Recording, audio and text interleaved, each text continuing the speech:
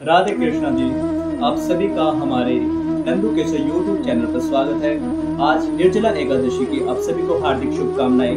आइए, हम जानते हैं कि निर्जला एकादशी का व्रत किस लिए रखा जाता है और यह है इसमें क्या क्या दान किया जाता है।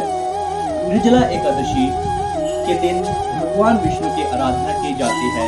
लोग ग्रीष्म ऋतु में पैदा हुए पेड़ सब्ज़ियाँ, फल पानी में सुराही एवं हाथ का पंखा दान करते हैं। इस उपासना में कौटिल्य अर्थशास्त्र के वस्तु नियम के दर्शन होते हैं क्योंकि धन की अपेक्षा साधन या वस्तुओं को उपलब्ध कराकर समाज तुरंत लाभान्वित होते हैं। राधे कृष्णा जी।